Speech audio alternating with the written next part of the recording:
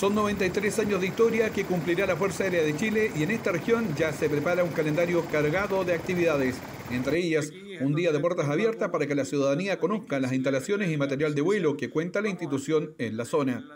Vamos a tratar de invitar eh, a algunas eh, colegios, eh, algo, algo específico, de tal forma que puedan ver eh, los medios, las capacidades que están disponibles es lo que queremos hacer también llevándolo a los colegios, llevándolo a, a y colocando en esta presentación en el MUI, pero vamos a tratar de ser.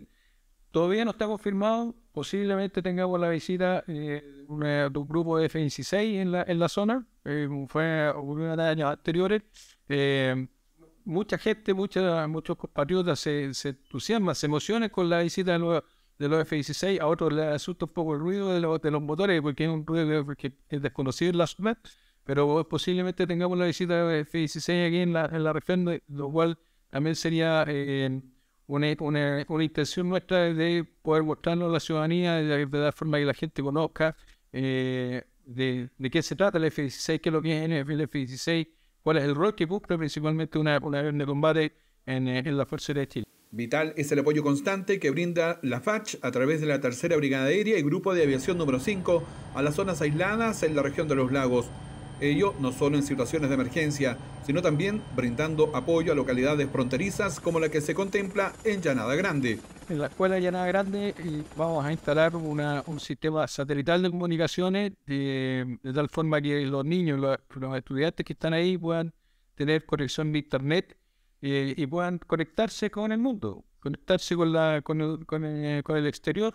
para lo cual en la Fuerza de Chile vamos a trasladar algunos medios, vamos a, a, vamos a implementar en la sala en la sala de clase todo un sistema computacional que, que Jaime nos va, nos va, a proveer, ¿cierto? Eh, y vamos a conectar a estos niños con, eh, con el resto del mundo. Y la, intención es, en que ellos puedan hacer una conexión en, en vía internet, vía satelital, con el eh, Centro Espacial de, la Fuerza de Chile que tenemos en, eh, Santiago, y ellos puedan eh, directamente intervenir en lo que es el manejo del satélite que tiene la Fuerza de Chile en, en órbita en este momento, eh, desde una sala de clase en, en Llanada Por lo tanto, es un trabajo que estamos haciendo